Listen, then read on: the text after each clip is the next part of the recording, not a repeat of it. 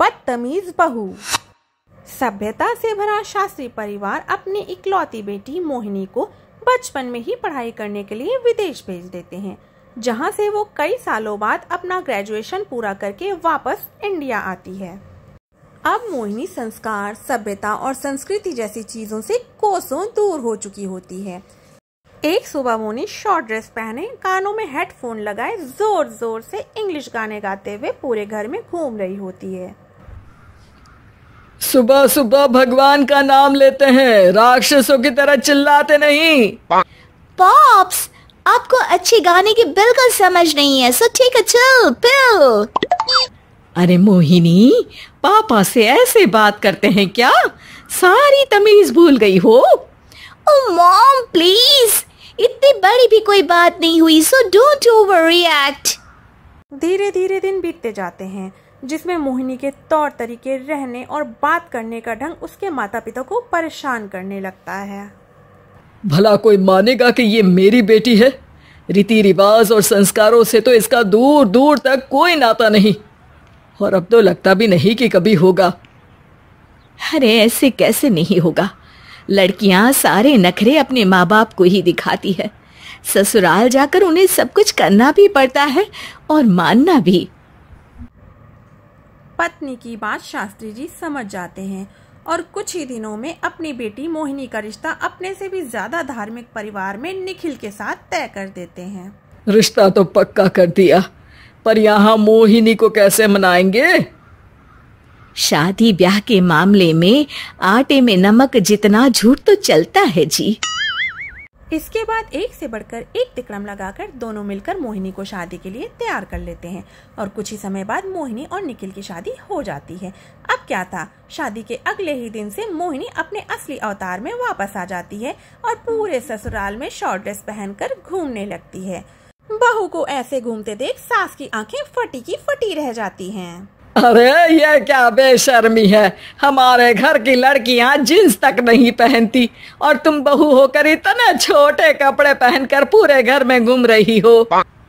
Seriously mom please आप अपनी इस अस्सी के दशक वाली सोच में मुझे इंक्लूड मत करो।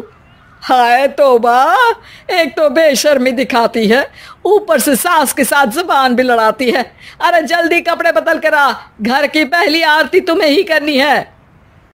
इतनी देर में निखिल भी वहाँ आ जाता है। माँ पापा आने वाले हैं। पूजा का सारा सामान तैयार है ना? ये पूजा हमेशा मेरे बॉयफ्रेंड्स के पीछे पड़ी रहती थी और अब हस्बैंड के पीछे भी आ गई।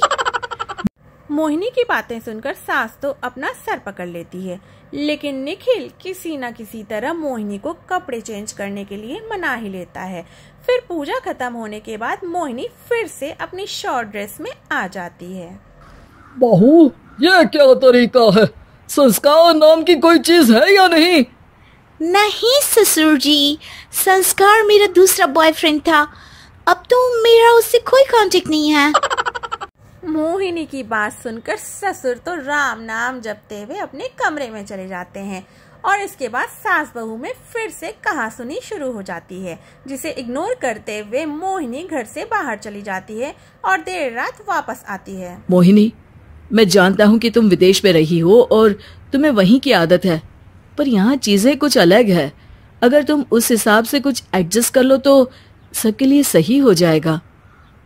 I am not in a lecture mood good night अगली सुबह मोहिनी देर से उठती है और फिर से उसी तरह सबके सामने आती है।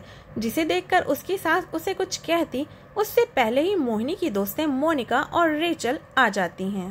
ओ hi darling how are you oh M G we missed you so much I missed you too darling Ram Ram इन्होंने तो तुमसे भी छोटे कपड़े पहने हैं।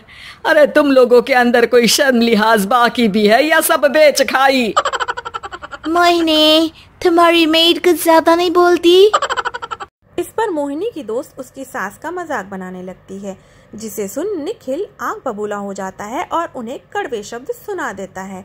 इसके बाद मोहिनी की दोस्तें तो वहाँ से चली जाती हैं लेकिन मोहिनी गुस्से से लाल होकर घूरते हुए निखिल को देखती रहती है। घूर क्या रही हो?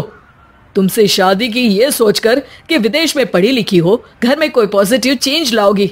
अपनी करियर के लिए एम्बिशियस होगी, पर अपने इस बिहेवियर से उस पढ़ाई के साथ साथ अपने मम्मी पापा के नाम को भी डुबो रही हो। अगर तुम्हें ऐसे ही हाल रखना है तो यहाँ रहने की कोई ज़रूरत नहीं है। निखिल की बातें सुनकर मोहिनी रोते हुए घर छोड़कर वापस अपने मम्मी पापा के घर आ जाती है। ससुराल में सब कुछ ठीक तो है? वो अपने आप को समझते क्या है? मोहिनी पर चिल्ला रहे मैं क्यों उसके इशारों पर चलूँ? मैं अपनी लाइफ अपने तरीके से जीना चाहती हूँ। और वो ना आप लोगों को मंजूर था और ना ही उन्हें है। तुम यहाँ नहीं रह सकती। अपने पापा की बात सुनकर मोहिनी हैरान रह जाती है। हाँ तुमने बिल्कुल सही सुना। अगर तुम्हें अपने इस घमंड, बेशर्मी और बदतमीजी में ही जीना है तो तुम यहाँ भी नहीं रह सकती। बेटी, मैं मानता हूँ, हमारे यहाँ रीति रिवाज बहुत मायने रखते हैं, और हमने उन्हीं के ओवरडोज से बचाने के लिए तुम्हें विदेश भेजा था। एक लड़की जो शादी करके घर और बच्चे संभालती है उससे तुम अपने आप को ज़्यादा समझ सको, इसके लिए भेजा था। तुम उससे ज़्यादा समझो और बनो, पर तुम तो किसी दूसरी ही ट्रेन में चढ़ गई बेटा। अपने मम्मी पापा के काफ़ी देर समझाने के बाद मोहिनी को अपनी गलती का एहसास होता है और अब वो अपने ससुराल वापस जाकर एक जॉब ज्वाइन कर लेती है और अपने ससुराल वालों को भी मॉडर्न बनाती है और खुद भी कुछ रीति रिवाज और संस्कार सीखती है और सबके साथ खुशी खुशी रहने लगती है।